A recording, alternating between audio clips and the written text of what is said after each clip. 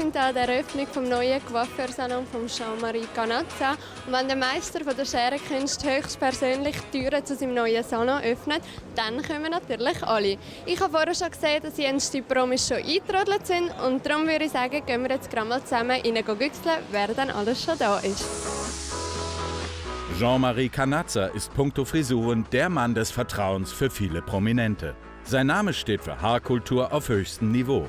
Der Zürcher Coiffeurunternehmer eröffnet an der Seestraße in Küsnacht einen Luxussalon mit Kosmetikbereich auf 180 Quadratmetern. Im Interview hat er uns sein Erfolgsgeheimnis verraten. Wenn man sieht, dass so viele Leute kommen, musst du ja einen guten Namen haben und hast den auch. Was macht dich aus? Ich glaube, ich mache das jetzt relativ lange, über 20 Jahre. Ich glaube, Qualität, Ehrlichkeit, Respekt der Menschen, von unserer Kundschaft. Wenn sie da reinkommen, sie können sich entspannen und kommen tolle Arbeit über. Und ich glaube, wenn man das sauber macht, dann kann man Erfolg haben. Qualität. Jetzt Qualität sieht man auch, wenn man da rumschaut. Das ist wunderschön, Top Design. Was bedeutet das für dich?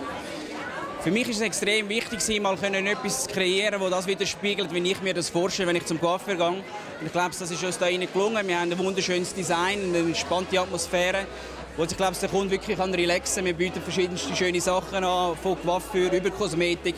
Das ist sicher alles auf einem sehr hohen Niveau und das mit dem schönen Design gibt eine runde Geschichte und das ist mir am Herzen gelegen und haben wir da verwirklichen mir ist es wirklich am Herzen gelegen, mal etwas anderes zu kreieren, eine Wohlfühloase, die nicht typisch coiffeurig ist, sondern ein Wohnzimmer, eine Galerie. Und ich glaube, es ist uns gut gelungen, so wie man sieht. Gefallen tut es nicht nur dem Otto-Normalverbraucher, sondern es entspricht auch den hohen Anforderungen der Prominenz. Miss Schweiz-Organisatorin Karina Berger ist eine treue Stammkundin von Jean-Marie Canazza. Vom neuen Laden ist sie hell begeistert. Ich finde ihn äh, sehr, sehr schön. Ich muss sagen, ich glaube, das ist der schönste Coiffeurladen, den ich je gesehen habe. Die gelernte Coiffeuse könnte sich gut vorstellen, in Jean-Maries neuem Salon mit anzupacken. Ich habe mich schon ein paar Mal angeboten und gesagt, wenn ich dann mal arbeitslos werde, komme ich wieder Haar waschen und Haar schneiden und föhnen. Nicht nur Schweizer Berühmtheiten schwören auf Jean-Marie Canazzas Handwerk. Auch der legendäre Schlagerstar Udo Jürgens vertraut seine Haare seit langer Zeit nur einem an. Ja, er ist ein großartiger Friseur und er ist ein großartiger Haareschneider und ein sehr sympathischer junger Mann. Und ich gehe seit über zehn Jahren äh, in seinen, seinen äh, Laden. Das heißt, jetzt ist dieses Geschäft von ihm ja hier. Finde ich übrigens sehr schön. Und ich werde in Zukunft wahrscheinlich hier meine Haare schneiden und nicht mehr in der Stadt, wo er, bis, wo er immer arbeitet. Als langjährige Kundin von Kanazza wollte auch Sandra Studer die Neueröffnung nicht verpassen. Im Interview spricht sie über ihren vielseitigen Job und über ihre Familie. Sandra Studer, du bist so ausgezeichnete Moderatorin, beinahe eine Meisterin von ihrem Fach. Was ist dein Erfolgsgeheimnis? Ich habe kein Erfolgsgeheimnis. Also ich glaube, man muss das machen, was einem Spaß macht, wo man Leidenschaft dafür empfindet. Und äh, was sicher nicht kann schaden ist, wenn man noch ein bisschen Talent hat, aber das haben noch viele und dass man ein bisschen dranbleibt. Und in meinem Fall, ich mache das jetzt schon sehr lange, also einfach, wenn man ein bisschen Erfahrung hat, ist auch nicht schlecht. Genau, Erfahrung macht es aus und für was dich auch viele bewundern, ist, dass du eine Großfamilie und den Job trotzdem alles unter einen Hut bringst. Wie machst du das? Also nicht ganz stressfrei. Ich muss da immer äh, ein das Bild revidieren, wenn man das Gefühl hat, das macht man so mit links. Geht schon nicht so, ehrlich gesagt. Ich habe sehr oft, äh, weiß ich auch nicht, ich habe zu wenig Hände und zu wenig Füße, um alles im Griff zu haben. Aber ähm, eben, wenn man halt beides gerne macht, dann, dann geht es. Also ich, ich brauche sehr wenig Zeit für mich selber, also die habe ich halt wirklich nicht, aber ich erhole mich mit meiner Familie vom Job und beim Job erhole ich mich von der Familie. Also es, es befruchtet sich gegenseitig und darum geht es auch. Zum Schluss haben wir noch den Chef Figaro aller Friseure, Valentino Scatina, getroffen. Aus seinen Reihen stammt auch Jean-Marie Canazza. Valentina, schön bist du bei uns beim Interview. Dein langjähriger Creative Director, der Jean-Marie, eröffnet heute seinen eigenen neuen Salon. Gibt es etwas, was du ihm gerne mit auf den Weg geben würdest? Ja, es ist ganz klar, er kommt äh, aus vielen Jahren, wo wir zusammenarbeiten, aus einem von unseren Betrieben, ist ein toller Geschäftspartner, ein ganz guter Freund.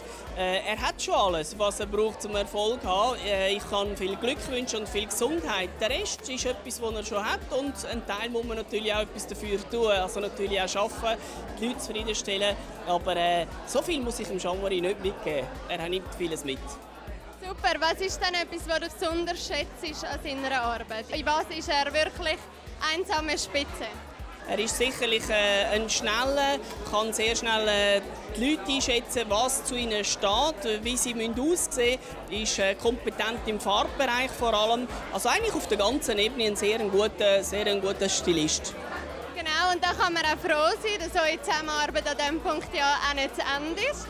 Soviel ich weiß, arbeiten ihr noch weiter zusammen. Wo oder in welchen Valentinos wird er dann trotzdem noch anzutreffen sein? Ich glaube, dass äh, die guten Leute, ob direkt oder indirekt, und vor allem wenn man so eine lange Beziehung hat zueinander, äh, nie werden auseinandergehen. Und sollten irgendwie eine Verbindung bleiben.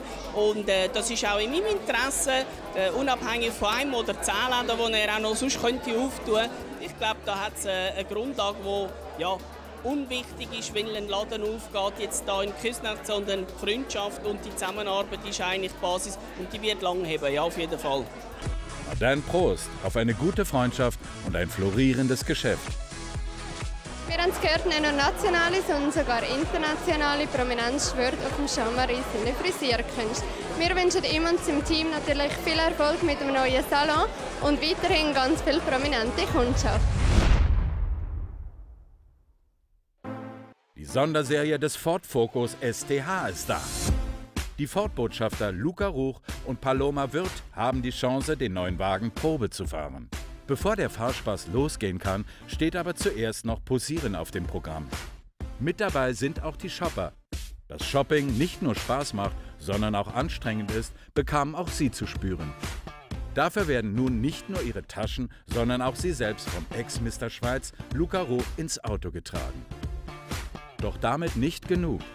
Zusätzlich werden sie von Luca Roch im Ford Focus STH direkt vor die Haustür chauffiert. Der Ex-Mr. Schweiz verrät uns, was ihm sein Auto bedeutet. Ich bin aufs Auto angewiesen. Äh, ich, habe mein Auto, ich liebe mein Auto. Und natürlich, um zu meinen Bookings zu kommen, ich bin aufs Auto angewiesen und es ist für mich äh, aber auch ein gewisser Luxus. Nicht nur die Damen ließen sich's gut gehen. Auch der männliche Shopper durfte von einer exklusiven Fahrt mit Sängerin Paloma Wirth profitieren.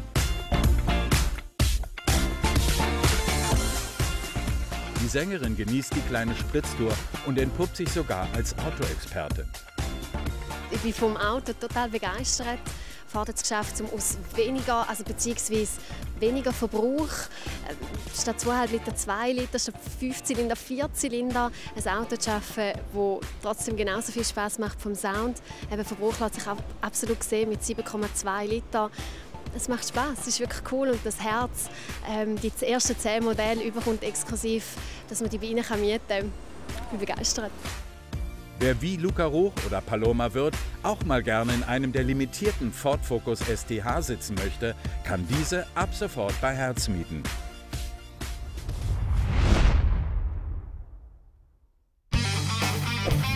Hallo zusammen, ich bin Simon Nickli und komme aus Münzigen.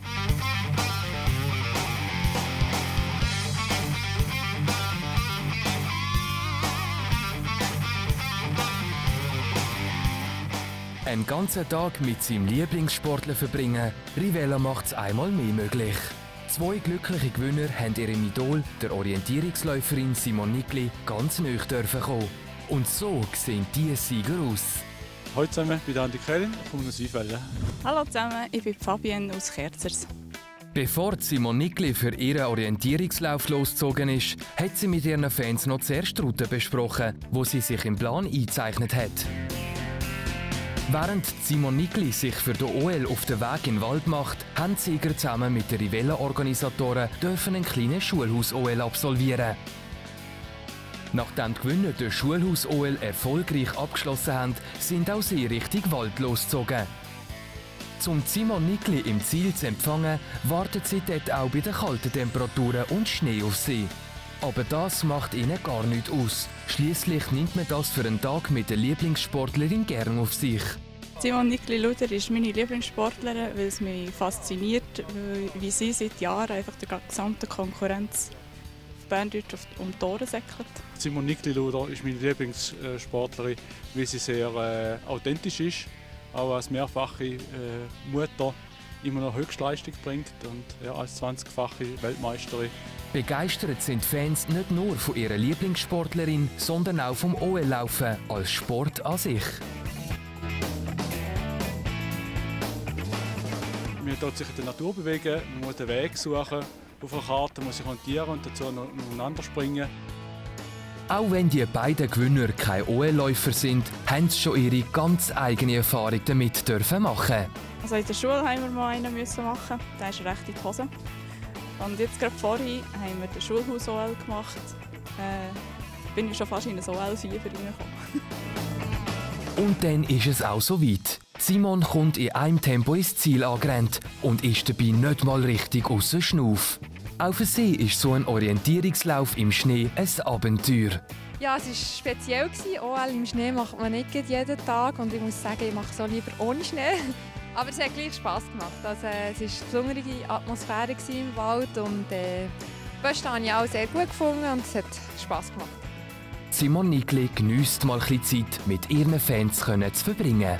Ja, ich finde es so schön, also, dass man merkt, eben, dass äh, die Leute einen mitverfolgen und äh, ja, jeden Tag Zeitung lesen und äh, ja, auch einem Daumen drücken. Und es macht mir natürlich auch Spass, mal jemandem, der nicht so viel von OL versteht, da die Sportart näher zu bringen und zu zeigen, was, was mir eben so gefällt daran. Und so endet dank Rivella ein spannender und lehrreicher Tag im Schnee, wo sowohl die Gewinner als auch Simon Nikli nicht so schnell wieder werden vergessen.